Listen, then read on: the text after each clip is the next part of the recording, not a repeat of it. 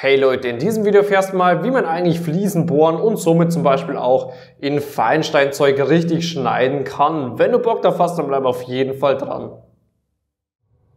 Zuerst einmal sollten wir wissen, dass es im Großen und Ganzen zwei verschiedene Arten von Fliesen gibt. Die etwas weicheren Fliesen, da kommt man normalerweise relativ gut mit so einem normalen Steinbohrer durch. Solche Fliesen wurden früher öfters verwendet und dann gibt es aber auch noch die etwas, ich würde mal sagen, neueren Fliesen. Das sind sogenannte Feinsteinzeugfliesen und da würden wir uns mit so einem normalen Steinbohrer wirklich den Bohrer eher kaputt machen, bevor dass wir da ein Loch reinbekommen. Deswegen benötigen wir hierfür unbedingt spezielle Diamantbohrer.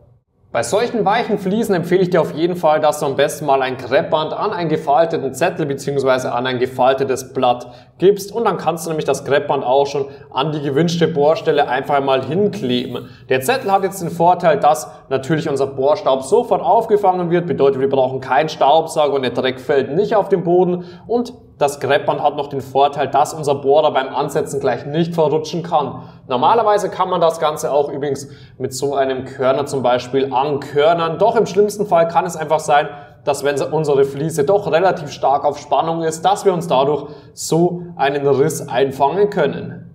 Danach einen Bleistift zur Hand nehmen, die entsprechende Bohrstelle mal mit einem einfachen Kreuz kennzeichnen. Dadurch können wir nämlich auch während dem Bohren noch gut erkennen, ob wir schön mittig sitzen und dann am besten die Bohrmaschine bitte nicht auf die Schlagfunktion, sondern auf die normale Bohrfunktion stellen. Das Ganze sollte übrigens auch nicht mit zu hoher Drehzahl gebohrt werden.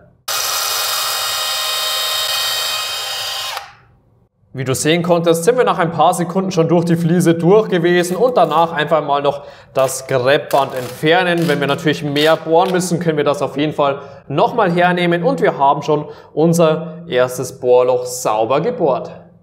Feinsteinzeugfliesen sind wie gesagt deutlich härter und da würden wir mit dem Steinbohrer einfach nicht weit kommen. Deswegen am besten mal solche speziellen Diamantbohrer kaufen und ich habe für unsere Haussanierung mir mal so ein Set damals für circa 15 Euro zugelegt und das reicht auf jeden Fall für zwei Badsanierungen locker aus. Denn da sind die verschiedensten Größen, egal ob für einen Klopapierhalter, einen Wasseranschluss oder zum Beispiel auch für die Abwasserleitung von dem Waschbecken. Das kann ich auf jeden Fall empfehlen. Wenn du das Ganze natürlich professionell machst, beziehungsweise auch deutlich öfters benötigst, dann gibt es solchen Teile natürlich noch in deutlich besserer Qualität und es gibt diese übrigens auch zum Beispiel für einen ganz normalen Winkelschleifer.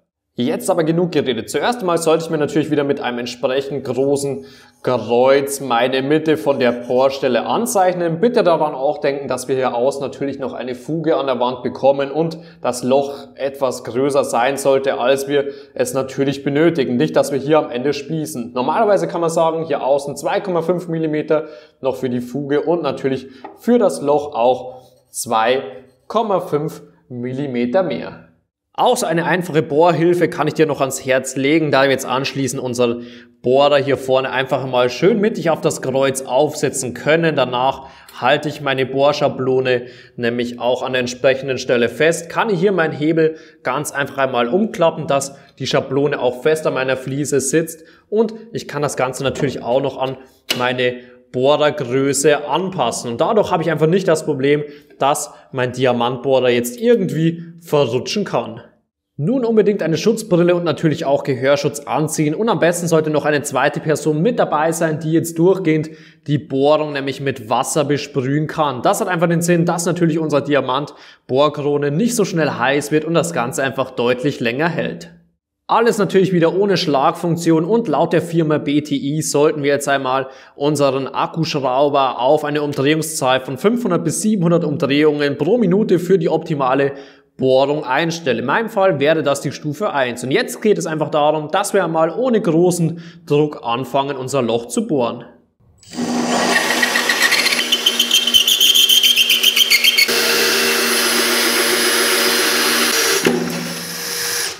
Auch unsere zweite Bohrung ist jetzt fertig, weswegen ich mal die Zentriervorrichtung wieder weggeben kann. Anschließend das Wasser am besten noch vorsichtig entfernen, da natürlich unsere Fliese hier doch relativ scharf ist. Und wie du sehen konntest, das Ganze braucht einfach etwas Zeit. Also hier müssen wir uns natürlich auch nicht beeilen. Somit haben wir jetzt auch schon Fliesen richtig gebohrt.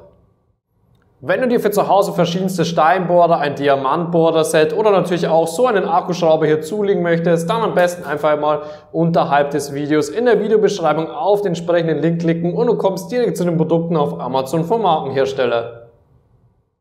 Falls dir das Video gefallen und auch weitergeholfen hat, kannst du mir gerne einen Daumen nach oben geben und es einmal unter dem Video in die Kommentare reinschreiben. Außerdem kannst du meinen Kanal noch hier oben kostenlos abonnieren, um kein neues Video mehr zu verpassen.